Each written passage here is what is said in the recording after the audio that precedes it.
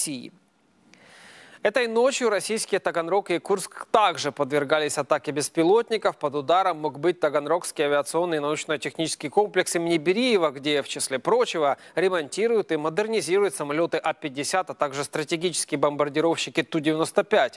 Жители Таганрога сообщали о большом количестве дронов в небе и слышали не менее пяти взрывов. По словам очевидцев, беспилотники летели со стороны моря. Налет дронов длился более часа. Местные власти назвали атаку массированной и заявили, заявили, что она была отражена силами ПВО. В Курске местные власти также сообщили об атаке беспилотников.